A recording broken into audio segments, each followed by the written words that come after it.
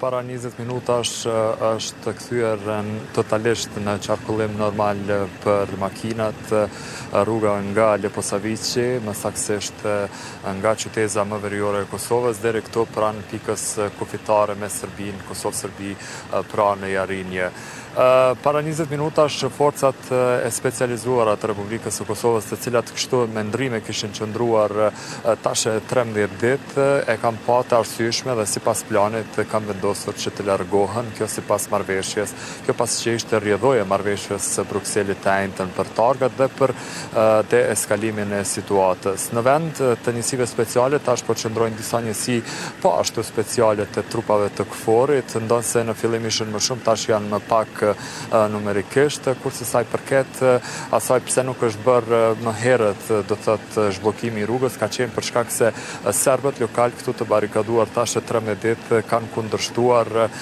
në fillim që të hiqnin panon e cila shkruan mirë se vini në Bashkësinë e Komunave Serbe, të cilën e kishin vendosur qysh me mbrëmjen e 20 shtatorit, po ashtu ata kishin refuzuar në fillim që t'i hiqnin edhe tendat të cilat i kishin vendosur po në ditën me të cilën flasim pra të hënën e 20 shtatorit. Më pastaj, policia speciale e cila ishte nisur që t'i lëshojë vend, do thotë trupave të KFOR-it, ishte rikthyer prapë këtu në vendin ku kanë qëndruar për trembëdhjetë ditë, duke thënë se nuk largohen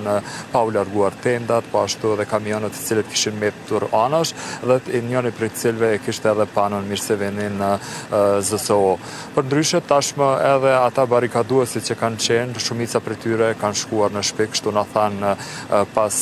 ikjes, do të thotë pas largimit të njësive speciale. Ndërkohë sa i përket sigurisë në kufi, tashmë e shohim se ka një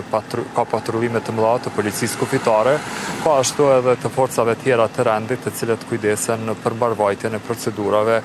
në pikën kufitare mes Jarinje, në Jarinje mes Kosovës dhe Sërbisë, duke parë që tani në këto momente kemi edhe shumë makina që lëvizin, do thotë edhe dalin nga Kosova, po ashtu edhe hyjnë nga Kosova, hyjnë në Kosovë nga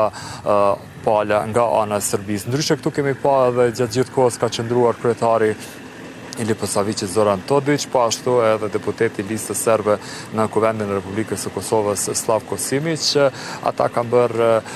këto çështjet operacionale për heqjen e barrikadave që ishin vendosur më 20 shtator dhe më pas krejt në heshtje janë larguar nga kjo pikë.